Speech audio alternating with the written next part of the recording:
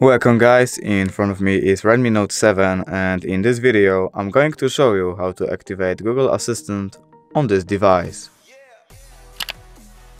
So firstly to do this we have to open settings and now we have to scroll down a bit and click on the Google option right here.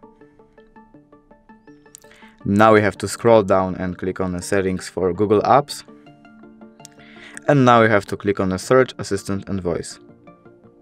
Here we choose Google Assistant and now we are in the Assistant Google settings. So now we have to scroll down and click on the general option right here. And by clicking this icon right here, we can activate Google Assistant. And that's it. Thank you guys for watching. Bye!